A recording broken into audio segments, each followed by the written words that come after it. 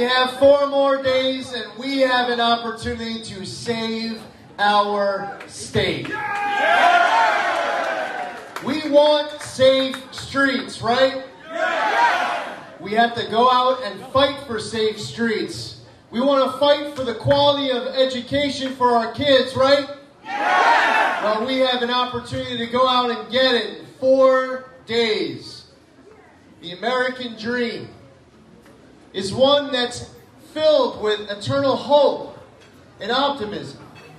But in order for our American dream to be a New York dream, it requires us to be able to walk our streets, to ride our subways, knowing that the streets and the subways belong to you, the law abiding New Yorker. It doesn't belong to the criminal. We do this for our children. Our children's education has been under attack by people who want to get rid of advanced academics in the name of equity, under attack by people who want to get rid of merit-based entry into specialty schools.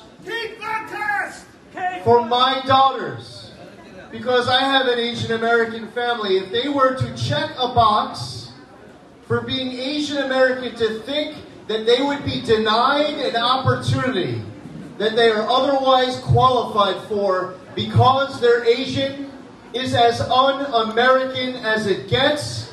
We need to make sure that we protect your son and daughter's education yes. up in Albany and here in New York City.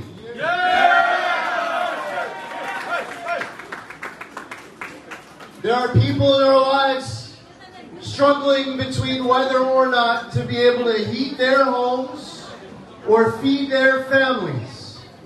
Life in New York is getting more expensive. It's harder to be a small business owner. Attacks on freedoms by people and government. I want all of you to have a government that you can be proud of again.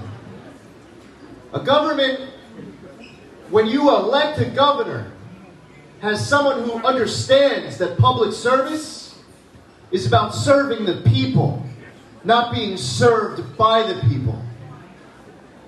It's important for all of you to have a government where you know that when you are exchanging freedoms with government, they're only going in one direction, and that's government giving you more freedom. Government giving you your freedoms back.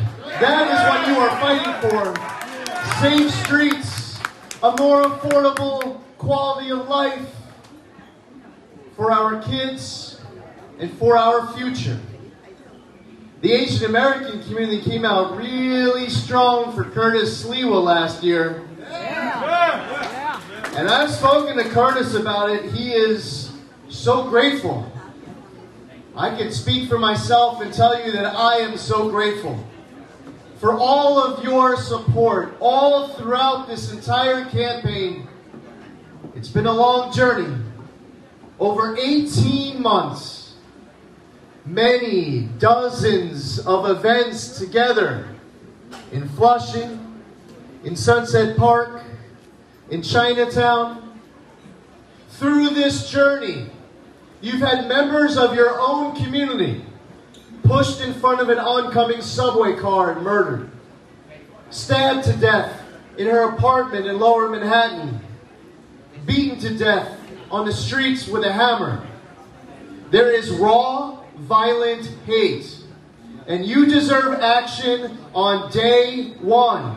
Yeah! That means as soon as I am sworn into office, it is my pledge and it is my duty that the first action, the first day, is telling the Manhattan District Attorney, Alvin Bragg, that he's being fired. Yeah!